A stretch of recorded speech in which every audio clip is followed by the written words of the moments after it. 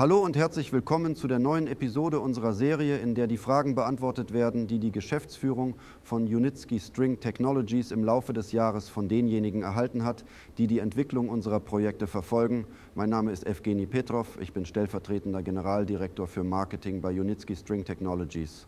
Mit mir sind heute Arsen Babayan, Vertreter der Moskauer Niederlassung von OOO Unitsky String Technologies, Oleg Zaretsky, Leiter der Niederlassung von Uscovery in Dubai, sowie die Mitarbeiter von Unitsky String Technologies Inc., Maxim Gusev, Leiter der Abteilung für Projektmanagement und Maxim Kubischkin, Leiter der Abteilung für Projektarbeiten. Ich erinnere Sie daran, dass nach mehreren Episoden, in denen wir im engen Kreis kommunizieren, die Ansprache des Generaldesigners und CEO von Unitsky String Technologies Inc. veröffentlichen werden, wo die Bilanzen der Arbeiten und der Prozesse im Jahr 2023 gezogen werden. Und heute werden wir über ein Thema sprechen, das für alle, die die Entwicklung des Projekts verfolgen, interessant ist. Dieses Thema betrifft die Frage, warum nicht alle Informationen veröffentlicht werden, warum wir die Öffentlichkeit nicht über alle unsere Schritte, nicht über alle unterzeichneten Verträge informieren, sondern nur sehr selektiv. Über einige Dinge berichten wir, über andere ziehen wir es vor zu schweigen. Ich schlage vor, Oleg, dass wir heute mit Ihnen beginnen. Erstens. Es gibt rechtliche Fragen. Natürlich unterzeichnen wir mit unseren potenziellen Kunden Vertraulichkeitsvereinbarungen und zwar in verschiedenen Phasen des Projekts. Warum bittet uns der potenzielle Kunde, keine Informationen preiszugeben? Hierfür kann es viele Gründe geben. Der erste Grund ist, dass der Kunde keine Informationen über das potenzielle Projekt vorzeitig veröffentlichen möchte. Denn es geht oft um finanzielle Fragen, um die Verteilung von Cashflows, um den Kampf um das Budget. Es ist klar, dass die verfrühte Information über das Projekt dazu führen wird, dass verschiedene Akteure sich einmischen werden, oft Feinde, oft Konkurrenten. Sie werden um Gelder, um den Haushalt, um Grundstücke, um alles kämpfen. Und das müssen wir verstehen. Die zweite Frage lautet, warum wollen wir einige Informationen verheimlichen? Wenn der Kunde uns bittet, etwas nicht preiszugeben, haben wir kein Recht, diese Information weiter zu übergeben. Sie ist vertraulich. Das war die erste Frage. Die zweite Frage, oft bitten wir darum, bestimmte Informationen nicht preiszugeben, weil wir es nicht für notwendig halten, diese Informationen vorzeitig zu veröffentlichen. Auch dafür kann es verschiedene Gründe geben. Erstens gibt es Missgönner, zweitens gibt es Konkurrenten. Wir sind uns bewusst, dass die String Transport Technology so viele Vorteile hat, dass die Wettbewerber anfangen könnten, uns Steine in den Weg zu legen wie einer meiner Freunde oft sagte, ich weiß nicht, wie ich dir helfen kann, aber ich weiß, wie ich dir wehtun kann. Es gibt viele Informationen, die über die Massenmedien und skrupellose Journalisten verbreitet werden. Das kann natürlich unserem Projekt schaden. Deshalb empfehle ich dringend, es so lange wie möglich geheim zu halten, um zu verhindern, dass unsere Konkurrenten, Gegner, Konkurrenten, Missgönner dieses Projekt informell, finanziell oder auf andere Weise angreifen könnten. Es ist klar, dass die String-Transport-Technologie so viele Vorteile hat, dass man davon ausgehen muss, dass wir viele Gegner haben. Ich denke, das sind die beiden Hauptgründe. Es gibt viele Beispiele dafür, dass die zu früh verbreitete Informationen über ein Projekt, die oft aus der Fahrlässigkeit weitergeleitet werden oder sogar von unseren Gegnern stammen, zu sehr ernsten Problemen führen können. Es führt zu ein Beispiel. Ich möchte das Land nicht nennen, aber es war so, dass noch vor nicht allzu langer Zeit die Kollegen in diesem Land noch ernsthaft die Umsetzung unseres Projekts planten. Dann haben sie irgendein Schreiben Beschwerden bekommen. Und dann haben sie einfach aufgehört, mit uns zu reden. Okay, das ist ihre Entscheidung. Dennoch glaube ich, dass einer der Gründe dafür war, dass unnötige Informationen durchgesickert sind. Das ist meine Meinung. Können Sie uns ein Beispiel nennen? In einer der letzten Episoden haben wir gesagt, dass die Zahl der Anträge gestiegen ist, nachdem Herr Gadkari uns besucht hatte. Ich habe die Nachricht in meinen Kanälen veröffentlicht, in Telegram, in Instagram und so weiter. Und schauen Sie mal, wie die Leute auf die Nachrichten reagiert haben. Aber unsere Nachrichten werden nicht nur von unseren Anhängern verfolgt. Glaubst du, unsere Konkurrenten sehen sich unsere Kanäle nicht an Unternehmen, die Seilbahnen, Einschienenbahnen oder andere Technologien herstellen, wenn wir Informationen über das Projekt veröffentlichen, steigt natürlich die Zahl der Konkurrenten und die Zahl der kommerziellen Angebote, die der Kunde erhält. Und müssen wir tatsächlich die Schwierigkeit der Ausschreibung künstlich erhöhen, nur um transparent zu bleiben? Wir sehen, wie der Hase läuft. Vielen Dank, Maxim. Äh, ein weiteres wichtiges Thema äh, wurde hier angesprochen, Oleg. Äh, Sie erwähnten den Wettbewerb um das Budget, um die Grundstücke und so weiter. Daraus kann man schließen oder besser gesagt feststellen, dass unsere Konkurrenten in einigen Fällen, sogar fast immer, nicht nur Verkehrsunternehmen sind, nicht nur Unternehmen, die Verkehrslösungen anbieten, sondern auch Developers und Unternehmen, die sich mit den Landschaftsarbeiten befassen. Das heißt, alle, die an Infrastrukturprojekten beteiligt sind so ein Projekt muss nicht unbedingt ein Verkehrsprojekt sein. Das gleiche Geld kann auch in ein anderes Infrastrukturprojekt gerichtet werden. Arsen, ich weiß, dass Sie in Ihrer Arbeit schon oft mit dieser Situation konfrontiert waren. Könnten Sie als ein Mann mit Erfahrung etwas dazu sagen? Meiner Meinung nach ist die Transparenz bei Projekten einerseits definitiv notwendig. Andererseits ist es schwierig, die Richtigkeit der Aussagen von meinen Kollegen zu bestreiten, dass es die Gefahr von Konkurrenz besteht. Die Wettbewerber werden aktiv, wenn ein Projekt irgendwo geplant wird und sie werden unsere Aufgabe schwieriger machen. Es gibt sicher Gegner, die versuchen, uns das Leben schwer zu machen. Ich glaube nicht, dass es nur eine richtige Antwort gibt. Es gibt einen Zeitpunkt, ab dem es Informationen über das Projekt geben muss. Es gibt einen Zeitpunkt, vor dem man diese Informationen lieber nicht verbreiten sollte unter anderem um die Aufmerksamkeit der Projektteilnehmer mit Kommentaren, Fragen und Antworten nicht abzulenken, damit das Projekt in Ruhe reifen kann. Es gibt Zeiten, zu denen gute Dinge nicht erzählt werden müssen, damit die Energie des Projektteams nicht verschwendet. Ich möchte nur hinzufügen, dass es einen neuen Trend gibt. Es sind Betrüger aufgetaucht, die versuchen, die Idee der neuen Technologie zu nutzen. Es gibt zum Beispiel Railbus, die mit wahnsinnigen Ideen rumlaufen, die wollen auch überall rein. Und ich halte es für nicht ganz richtig, ihnen Informationen zur Verfügung zu stellen, dass es hier oder dort ein Projekt gibt. Die sind wie Aasfresser. Sie gehen dann zum Kunden, sie werden ihm etwas erzählen, sie werden irgendwelche Termine organisieren. Oleg, stellen Sie sich vor, Sie verkaufen nicht die String-Technologie, sondern Siemens. Ja, wie würden Sie diese Frage beantworten? Erzählen oder nicht erzählen? Ich glaube es nicht, dass Siemens uns sehr viel erzählt. Äh, das ist eine gute Frage nebenbei bemerkt. Ich glaube, Siemens denkt einfach darüber nicht nach. Und ich meine, sie müssen auch auf dem Markt kämpfen. Sie haben auch Konkurrenten. Es gibt Siemens, es gibt Alstom, es gibt Hitachi, es gibt eine Menge Unternehmen. Hyundai, das sich mit der U-Bahn beschäftigt, mit ernsthaften Verkehrsprojekten. Der Wettbewerb ist sehr hart. Und ich glaube nicht, dass Siemens an jeder Ecke über die möglichen Projekte erzählt.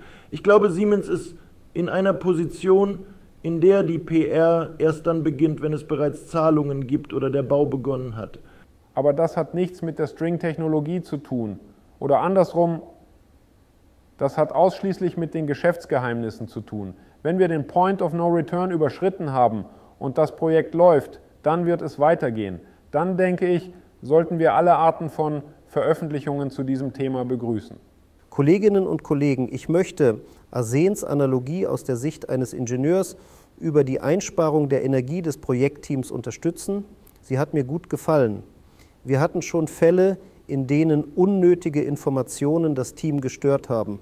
Es gab nämlich Fälle, in denen in der Presse, in der Medienlandschaft viele Informationen über ein potenzielles Projekt verbreitet wurden. Jetzt ist die Welt offen. Jeder hat soziale Netzwerke. Äh, da kommt jemand, kommen zu den Ingenieuren, zu den Designern, die an dem Projekt arbeiten. Die Fremden fangen an, Fragen zu stellen. Sie sagen, dass sie wissen, dass sie an einem Projekt arbeiten. Die Leute werden abgelenkt, die Leute werden besorgt. Bis zu einem gewissen Grad halte ich es für eine gute Sache, äh, bewusst weniger Informationen über das Projekt zu geben. Äh, wenn wir in die Bauphase, die Umsetzungsphase des Projekts kommen, ist es meiner Meinung nach gerechtfertigt, wenn Informationen in der Presse erscheinen und so weiter. Solange das Projekt noch nicht das Stadium der konkreten Umsetzung erreicht hat, glaube ich nicht, dass zusätzliche Informationen einen zusätzlichen Bonus für die gut koordinierte Arbeit des Teams bringen könnten. Vielen Dank, liebe Kollegen. Wir haben hier Siemens erwähnt. Der Name des Unternehmens ist nicht wichtig. Nehmen wir an, es ist ja ein fiktives Siemens. Es geht darum, dass es viele andere Unternehmen gibt, die sich äh, mit großen Infrastrukturprojekten beschäftigen. Und in der Tat, ab einem gewissen Zeitpunkt kommen solche Projekte ohne Öffentlichkeit, ohne öffentliche Diskussion nicht weiter. Schon deshalb, weil sie die Interessen der Bevölkerung berühren.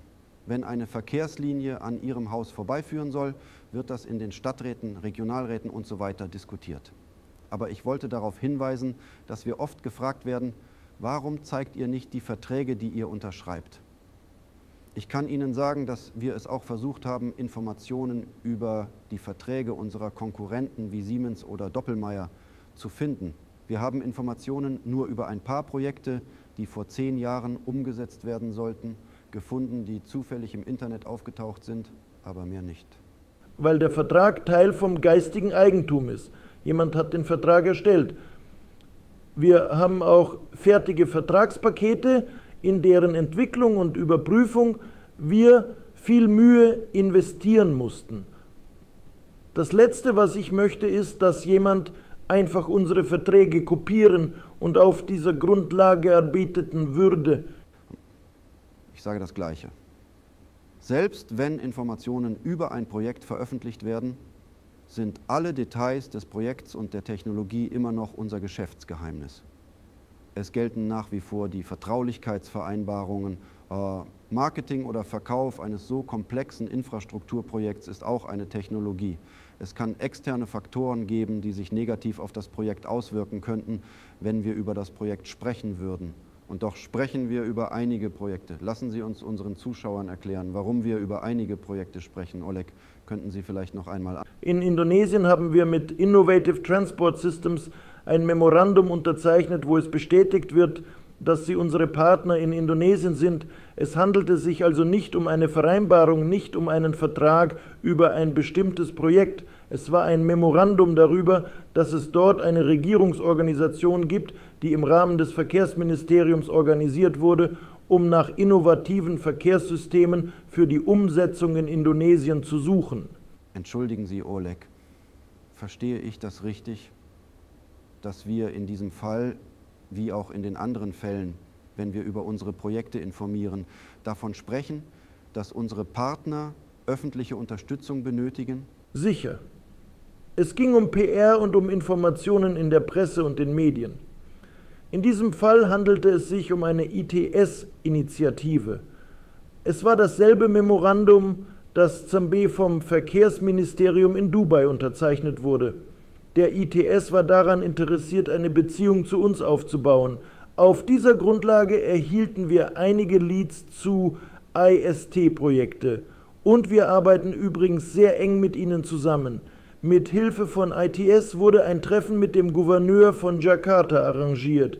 Das soll aber nicht heißen, dass es um ein bestimmtes Projekt ging. Nicht, wir wollten die Information über diese Zusammenarbeit veröffentlichen.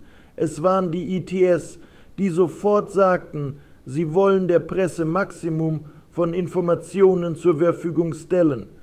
Aber wir waren nicht dagegen, denn es ging nicht um ein bestimmtes Projekt. Es ist kein Geheimnis, dass Indonesien ein sehr guter potenzieller Markt für uns ist. Aber wenn wir über konkrete Projekte sprechen, in Indien oder in der Dominikanischen Republik oder sonst wo, dann würde ich die Details lieber nicht preisgeben. In Indonesien ziehen wir es vor, keine Einzelheiten über bestimmte Projekte preiszugeben.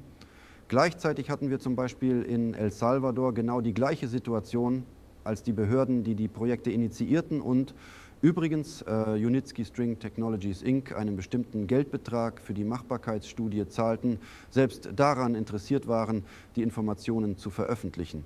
Und in diesem speziellen Fall haben wir uns darauf eingelassen. Ja, wenn wir keine Fallstricken sehen, warum nicht? In einigen Fällen empfehlen wir es dem Kunden allerdings nicht, die Informationen zu veröffentlichen. In einigen Fällen ja, in anderen Fällen nein. Aber ich wiederhole, dass es keine allgemein geltende Regel geben kann. Natürlich bewerten wir alles nach der jeweiligen Situation und versuchen, das Richtige zu machen. Denn unser Ziel ist dasselbe. ein kommerzielles Projekt zu bekommen und es umzusetzen. Hatten, äh, die dann aus verschiedenen Gründen auf äh, Eis gelegt wurden. Ich kann mich beispielsweise an ein Projekt in der Ukraine erinnern, äh, bei dem wir bereits mit einer Machbarkeitsstudie begonnen hatten und die erste Zahlung erhielten, aber zu einem bestimmten Zeitpunkt wurden wir gezwungen, alle Arbeiten einzustellen. Da ich denke, alle würden zustimmen, dass jedes Projekt individuell ist. Und zwar sehr individuell. In manchen Fällen erzählen wir darüber, in manchen Fällen schweigen wir lieber eine Zeit lang. Ab einem bestimmten Zeitpunkt, wenn wir schon auf der Baustelle sind, ist es natürlich unmöglich, Informationen zu verbergen. Lassen Sie uns darüber reden, welche Schwierigkeiten es noch gibt. Denn bisher haben wir hauptsächlich über die Siege und die Erfolge gesprochen. Aber es gibt auch eine Reihe von erheblichen Schwierigkeiten, ich weiß zum Beispiel, dass eine Reihe von Projekten, für die wir sogar Verträge unterzeichnet, es hatte nichts mit der Verbreitung der Information zu tun. Das war einfach die höhere Gewalt. Es kann auch andere höhere Gewalt geben. Wir müssen uns darüber im Klaren sein, dass es noch einen weiteren Punkt gibt. Russland und Weißrussland sind mit Sanktionen belegt. Wir sind alle Bürger dieser Länder. Daher ist es schwierig, über kommerzielle Projekte in Europa zu sprechen obwohl auch dort ein großes Interesse besteht. Es gibt ein großes Interesse in Europa und sogar in Amerika, aber natürlich müssen wir jetzt den Schwerpunkt auf Asien und Afrika legen. Es gibt gewisse politische Risiken, wenn es um Lieferungen aus Weißrussland, Technologien aus Weißrussland und so weiter geht. Wir müssen sehr vorsichtig sein. Es ist kein Geheimnis, dass alle Entwicklungsländer in Afrika und Asien unter einem enormen Druck stehen. Man will, dass jede Zusammenarbeit mit Belarus und Russland auf Eis gelegt würde. Ja, wir haben ein Unternehmen in den Emiraten. Wir sagen, dass wir eine emiratische Technologie haben. Aber noch einmal, wir müssen vorsichtig sein. Das hat also nichts mit der Transparenz oder Nichttransparenz von Informationen zu tun, obwohl in der Tat hat es.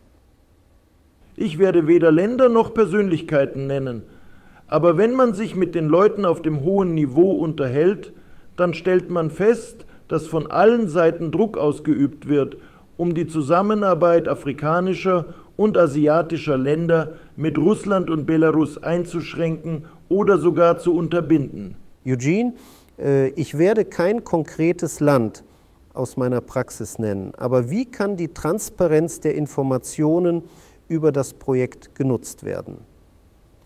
Wenn wir über die Länder sprechen, in denen es Demokratie und Wahlen gibt, dann müssen wir uns darüber im Klaren sein, dass unsere Projekte Infrastrukturprojekte sind. Sie helfen, Probleme zu lösen. Sie lösen die Verkehrsprobleme. Sie lösen die Probleme, die Kopfschmerzen für die regionalen Chefs bereiten. Und natürlich ist es für einen Gouverneur vor den Wahlen sehr günstig, wenn er dem ganzen Land verkünden kann, dass er einen Vertrag mit diesem und jenem Unternehmen unterzeichnen möchte, der das Verkehrsproblem lösen kann. Dann kommen die Wahlen. Entweder scheitert der Kandidat und alle vergessen unser Projekt oder das Versprechen bleibt nur ein Versprechen. Es gibt schon so ein Beispiel, als unser Projekt als Argument im Wahlkampf genutzt wurde. Das ist die negative Seite unseres Geschäfts. Obwohl Infrastrukturprojekte für jede Region und für die ganze Bevölkerung sehr wichtig sind. Ich danke Ihnen, Maxim. Sie haben in der Tat auf einen wichtigen Punkt aufmerksam gemacht. Ich möchte aber gerne etwas hinzufügen. Unsere Technologien, unsere Lösungen können von einigen Beamten als Teil einer Wahlkampagne genutzt werden. Aber wo es Wettbewerb gibt, ist jeder Politiker natürlich den Angriffen seiner Konkurrenten ausgesetzt. Wenn ein Politiker angegriffen wird, werden leider oft auch die Projekte angegriffen, die der Politiker fördert. Wenn wir Informationen veröffentlichen, laufen wir Gefahr, zusammen mit einer bestimmten Person auch in das politische Spiel vor den Wahlen verwickelt zu werden. Und die Attacke, die auf eine bestimmte Person gerichtet ist, wird auch unseren Ruf beeinträchtigen. Und der Ruf ist für uns heute sehr wichtig. Asan, haben Sie noch etwas hinzuzufügen? Zunächst zum Thema Sanktionsdruck, den Oleg erwähnt hat, indem er sagte, dass der russische oder weißrussische Fußabdruck unsere Entwicklung auf einigen Märkten verhindert. Ich meine nicht die asiatischen Märkte, dort gibt es auch Schwierigkeiten mit den Abrechnungen oder auch andere Probleme. Aber die europäischen und amerikanischen Märkte sind für uns im Moment geschlossen. Was unsere interne Situation angeht, Eugenie weiß das ganz genau, hat unser Projekt in einem südlichen Land schon ein gewisses Stadium erreicht und wir hätten die Finanzierung erhalten sollen. Das ist aber nicht geschehen. Das Projekt wurde nicht komplett eingestellt, es wurde aber auf eine unbestimmte Zeit verschoben, bis sich die geopolitische Lage ändert und die normalen gesellschaftlichen Prioritäten wiederhergestellt sind. Dann wird dieses Projekt wieder ins Leben gerufen. Solche Faktoren höherer Gewalt sind bei unserer Arbeit auch vorhanden. Worauf würde ich Sie gerne aufmerksam machen? Auf die Risiken. Es gibt Risiken, die, wie Sie sagten, mit der Veröffentlichung von Informationen verbunden sind. Es gibt noch eine ähnliche Geschichte. Risiken im Zusammenhang mit Persönlichkeiten. Bevor ein Projekt startet, muss es eine Reihe von Genehmigungen durchlaufen. Viele wichtige Leute müssen Ja, Ja, Ja sagen. Es müssen viele Ja gesagt werden, damit das Projekt zu einem Punkt gelangt, wo die endgültige Entscheidung über seine Umsetzung getroffen wird. In dieser Kette kann es aber Leute geben, die etwas gelesen, aber nicht ganz verstanden haben. Es kann sein, dass sie schon eine voreingenommene Meinung haben, die durch skrupellose Publikationen inspiriert wurde. In diesem Fall verlangsamt sich das Projekt, man soll dann wieder einige Sachen erklären. Dann kommt das Projekt nicht so schnell voran, wie man es gerne hätte. Oder es wird ohne Erklärung eingestellt, was auch schon vorgekommen ist. Eugenie hat wahrscheinlich noch viele weitere solcher Beispiele.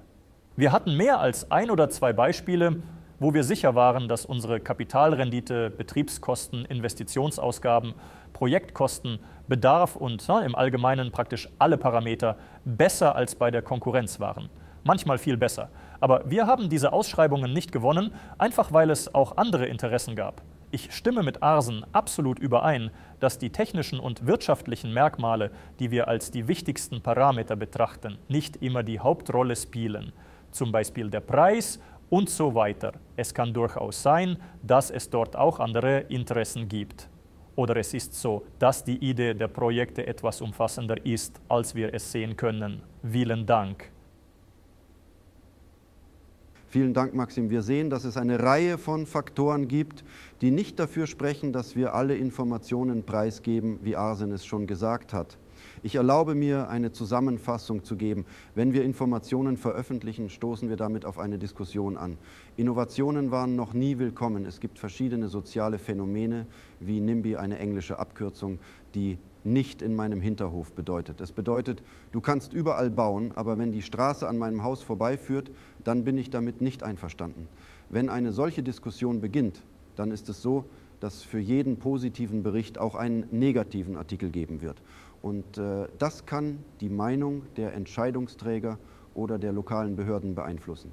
Andererseits, wenn wir diese Informationen nicht veröffentlichen, dann lassen wir einerseits die Möglichkeit offen, die Meinung von Behörden oder anderen Entscheidungsträgern zu beeinflussen. Andererseits führt die Veröffentlichung dieser Informationen ohnehin zu keinem Ergebnis. Wir haben darüber in der ersten Episode dieser Serie gesprochen. Unsere Kunden sind besondere Menschen, die die meisten ihrer Informationen nicht aus den Medien erhalten, sondern von ihren Beratern, Consultants und so weiter. Und wir arbeiten nun mit diesen Menschen. Wir haben über viele Dinge gesprochen und ich hoffe, dass unsere Zuschauer ein wenig mehr verstanden haben, warum wir viele Dinge nur am Rande erwähnen, sehr selektiv und sehr vorsichtig. Das geschieht in erster Linie im Interesse der Wirtschaft, im Interesse der Technologie, im Interesse der Investoren. Wir danken Ihnen für Ihre Aufmerksamkeit. Ich danke Ihnen, liebe Kollegen, für Ihre Teilnahme an der heutigen Diskussion. Nächstes Mal werden wir über unsere Aktiva, unsere Kompetenzen und über die Vorbereitung der materiellen Basis für die Umsetzung von kommerziellen Projekten sprechen. Wir hoffen, dass Sie sich uns anschließen werden. Und danach, am Ende dieses Jahres vor den Feiertagen, wird der Generalkonstrukteur und CEO von Unitsky String Technologies eine Rede halten, in der er die Ergebnisse des Jahres zusammenfasst. Ich danke Ihnen für Ihre Aufmerksamkeit. Wir sehen uns wieder.